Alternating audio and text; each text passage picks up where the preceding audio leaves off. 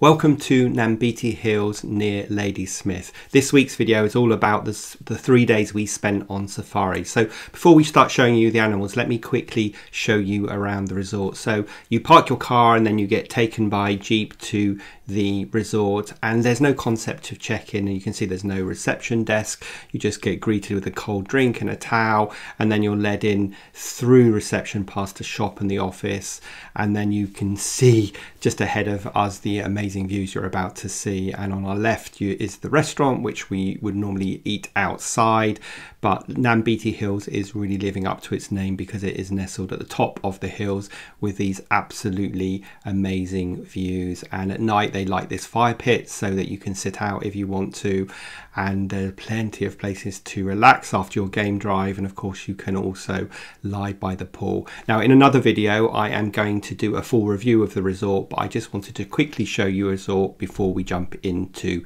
the safari.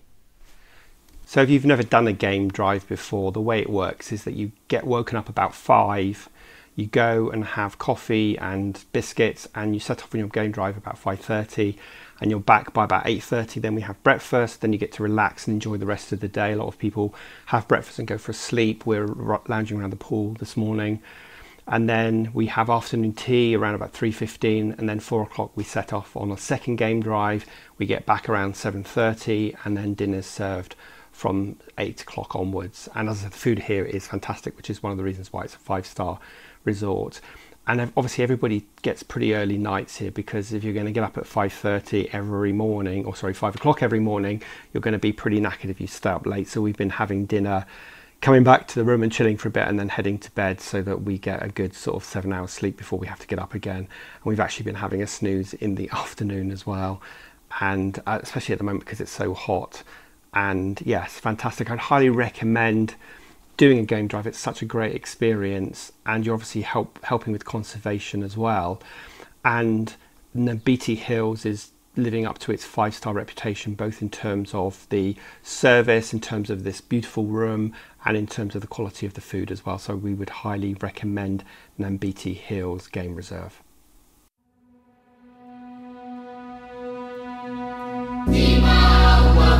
Nima